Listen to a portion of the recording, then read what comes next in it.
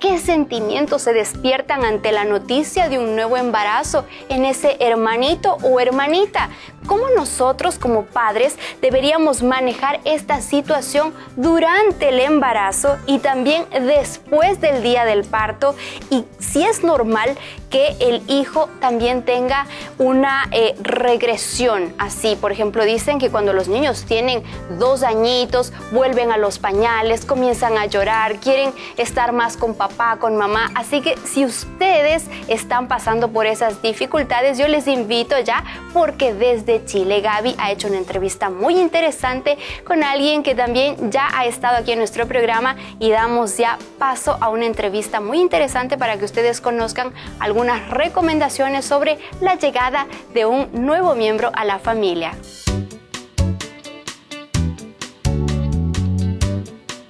Muchas gracias. Nosotros ya estamos en la comuna de Peñalolén, Santiago de Chile, en las dependencias del Colegio Pedro de Valdivia, para conversar sobre un tema muy interesante que le va a interesar sobre todo a los papitos.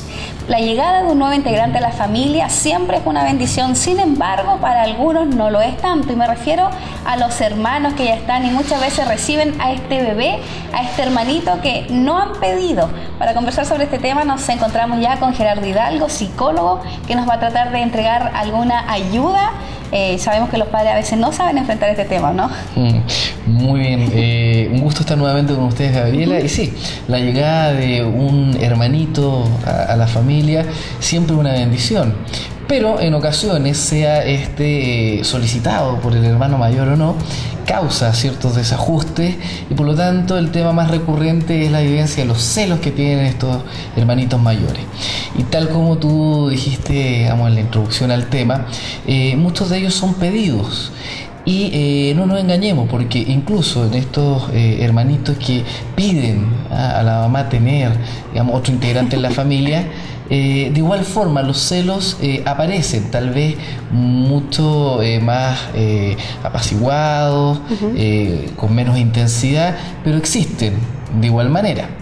Ahora, sin duda que la mejor forma que tenemos nosotros de poder ir enseñando a nuestros hijos la llegada de, de, un hermanito es a través de principalmente involucrarlos desde un comienzo en lo que es eh, la existencia de otra persona que va a llegar a compartir un espacio, va a llegar a compartir el amor, que va a llegar a compartir el tiempo y que si bien para nosotros adultos frente a una situación como esa no nos resulta fácil, bueno, eh, tratemos de también contextualizar la situación de un niño que a su edad, por supuesto, no cuenta con los recursos aún adecuados para poder afrontar las demandas que esto implica.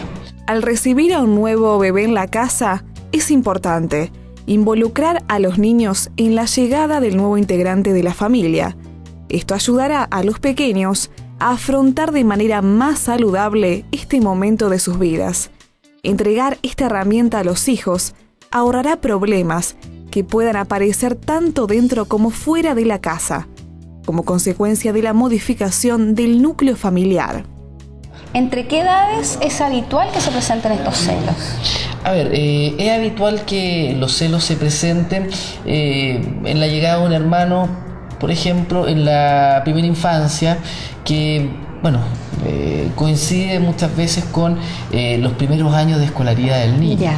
Por lo tanto, desde ahí los síntomas que se manifiestan al respecto pueden estar ya más explícito, digamos, en un contexto de colegio, donde, por ejemplo, las dificultades van a ser eh, a nivel conductual, disciplina o a través de una baja de rendimiento. Ya. Ahora, por el contrario, eh, en el contexto de, la familia propiamente tal, puede ser a través de agresiones o conductas inadecuadas, que yo prefiero mencionarlo así, hacia el hermanito eh, más pequeño. Ejemplos de conductas inadecuadas debido a los celos. En el colegio, la disciplina del niño se altera. Puede haber una caída del rendimiento escolar. En el hogar, el hermano más grande pelea por el biberón, se lo quita, la pellizca tratando de hacerlo llorar y aumentan los berrinches o pataletas para llamar la atención de los padres.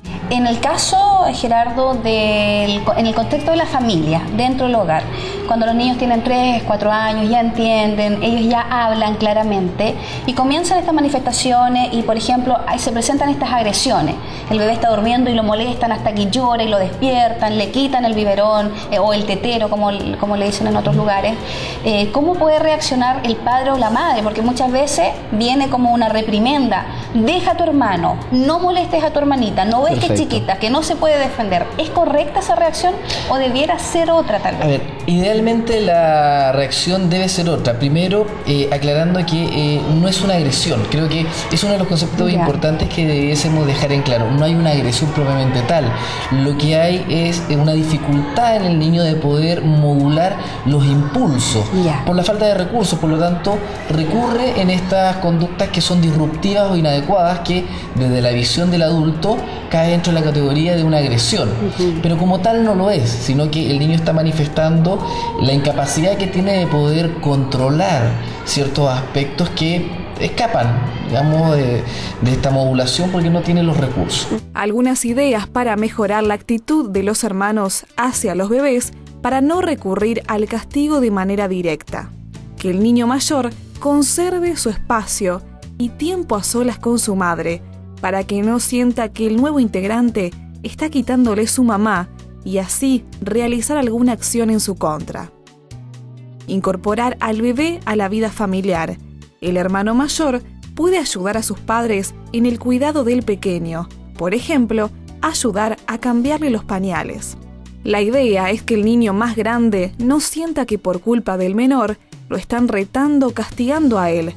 Estos mecanismos pueden ayudar a que el castigo no sea la vía de enseñanza directa. Ahora, si esta situación no la manejamos como corresponde, no logramos percibir muchas veces como padres la situación, no tomamos las medidas, ¿Pueden haber consecuencias en el largo plazo graves en, la relación de hermanos? Puede haber eh, ciertas consecuencias en la relación de hermanos, donde tal vez, eh, si bien no van a ser dos personas extrañas o que su nivel de relación sea prácticamente nulo, sí eh, el grado de compromiso, de cercanía, de cuidado, tal vez de ayuda, va, va a ser tal vez menos manifiesto.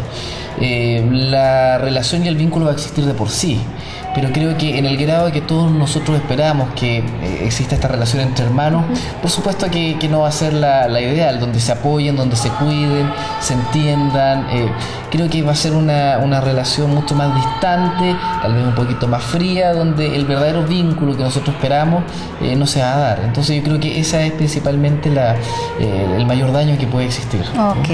Y ya para ir finalizando nuestra conversación, Gerardo, ¿alguna recomendación clara, directa que tú quieras entregar a los padres eh, que tú percibes en el trabajo clínico que realizas más frecuente, para que obviamente nuestros amigos que están en casa no lo cometan. Bien, a ver, principalmente yo creo que podría dar una sugerencia a, nuestros padres. Eh, bueno, no perder ese espacio que tienen los niños inicialmente eh, con ustedes donde esta exclusividad y este espacio tan íntimo que no era compartido, eh, de un momento a otro se pierda.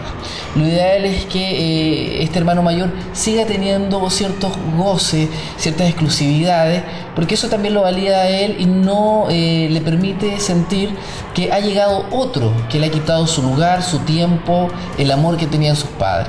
Por lo tanto, desde ahí es bueno poder complementar la existencia de tiempos donde ambos hermanos estén juntos y por otra parte un espacio y un tiempo exclusivo para el hermano mayor, tal como lo tiene este hermano que recién ha llegado.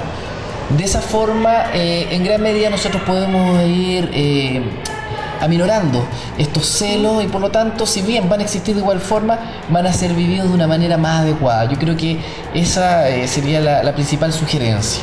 Ok, ya pues Gerardo, muchas gracias. Perfecto. Esperamos que en casa puedan seguir estas recomendaciones, un temita que nunca está de más y una situación que se genera en muchos hogares y que por supuesto nosotros queremos evitar. Dejamos la conversación hasta aquí y regresamos a estudio para continuar con más entre nosotras.